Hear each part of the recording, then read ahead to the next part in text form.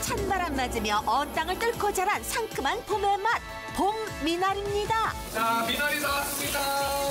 잔뜩 나가네요. 보기만 해도 개운해지는? 흐탐. 삼겹살은 뒷짠. 상큼한 향 자랑하는 싱싱한 미나리를 돌돌 말아 한 입에 오. 넣으면요. 입안 가득 청량한 봄 기운이 들어찬답니다. 확실히 주객이 전도됐네요. 부드럽고 입에 자사삭 녹네. 봄이 오는 시점이 됐는데 봄을 알려주는 맛을 우리가 발봉산에서 느낄 수가 있습니다. 아, 봄 맛이 느껴져. 예. 첫 봄맛입니다.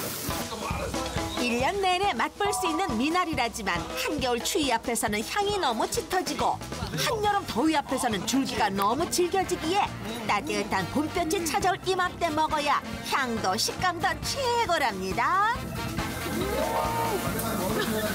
살살 녹아요.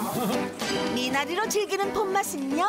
미나리처럼 미나리 꼭 먹어야지 후회가 없다고. 안 그러면 내년까지 기다려야 되잖아요. 지금이 땀철이거든요. 일년을 기다린 맛이군요. 궁합이 너무 잘 맞아요. 이럴 때 많이 먹어야죠. 삼겹살에 미나리를 먹어야만 몸을 잘날수 있을 텐데.